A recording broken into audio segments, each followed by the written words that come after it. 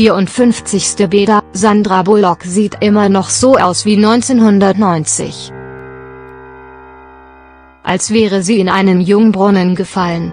Sandra Bullock, 54, ist eine begnadete Schauspielerin, Supermama und eine Powerfrau.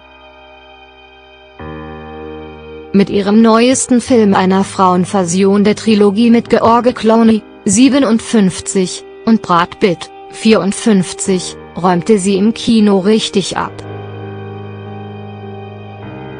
Heute feiert die Oscar-Preisträgerin bereits ihren 54. Geburtstag. Doch wirklich verändert hat die Schauspielerin sich in den letzten Jahrzehnten nicht.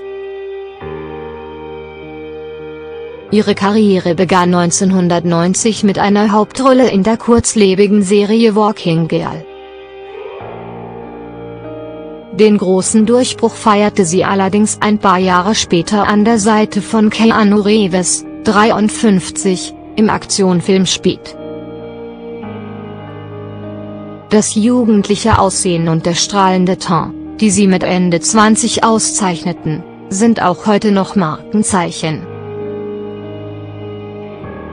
Ein Vergleich zeigt, sie bekommt nur wenige Fältchen und könnte noch immer für eine Frau in den 30ern durchgehen. Mehrfach wurde allerdings behauptet, dass sich wie viele andere Kolleginnen vom Beauty Dog verjüngen lassen hat. Erst nach der Oscar-Verleihung Anfang des Jahres gab es Gerüchte um eine mögliche Faltenunterspritzung in den Wangen. In einem Interview mit der US-amerikanischen Instüler entgegnete sie dem allerdings, ich war krank und hatte Allergien, aber ich wollte trotzdem hingehen. Das ist Teil meines Jobs und ich freue mich, dabei zu sein.